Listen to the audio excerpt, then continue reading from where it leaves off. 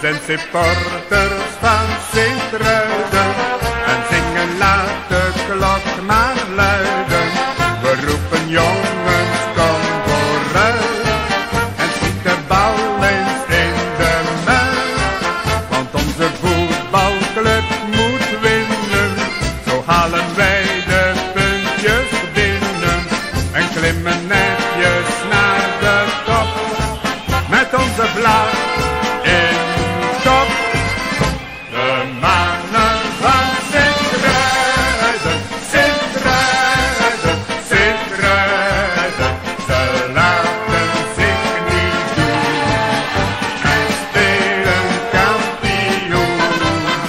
the man.